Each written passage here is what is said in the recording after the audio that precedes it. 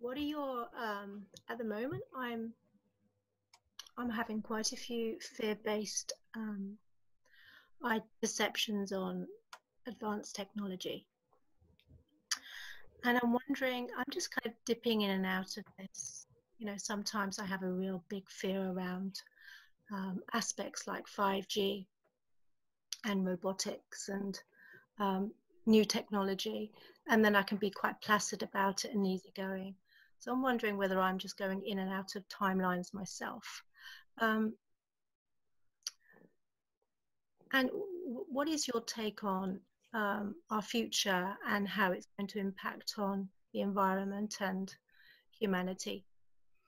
Although I know humanity isn't in one plane and we're changing through, um, you know, different time phases, but yeah, I'll just leave it there. We will confirm that you are dipping in and out of several timelines. There is the one in which you are fearful of the future and the one in which you are neutral about the future. We reiterate that any timeline that you are in is of your choosing based upon your frequency, what you are focused on, what you are thinking about, and what you are feeling about what you are thinking about. We will point to the fact that when something feels bad, it feels bad. This is simple. When something feels good, it is closer to the truth than the thing that feels bad.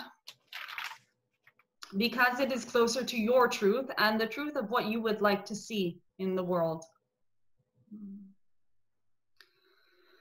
Focusing on anything that brings any form of fear to a entity is taking a step away from the timeline that one wants to see develop. And since all reality is created based upon the intention of the individual and the intention of the collective, however, the intention of the individual ships, navigates the intention of the collective. It is up to the individual to shepherd their own intention so as to be able to shepherd the reality that presents itself to them. In the case of the future of humanity, this leaves you very much with the ball in your court, for it is you who gets to decide based upon how you think of the future and what you want to see, what future will present itself to you you can experiment with this. You do not need to believe what we are saying right in this moment. All you would need to do for your experiment would be to focus only on what you would like to see in the world and then see how opportunities and situations present themselves with the solutions that you are already looking for.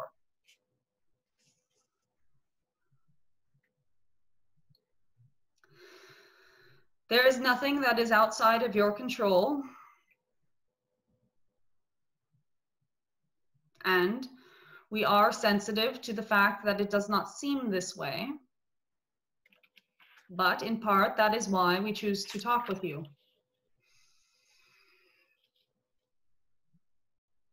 There is nothing to fear but fear itself. For it is that that will create the reality that you do not prefer. And There are beautiful beings in your reality who know this and whose role it is to catalyze fear within you so that you may wake up from fear by deciding that it is no longer how you would like to feel. You are safe to let go of any beliefs that are not serving you. And adopt those that do.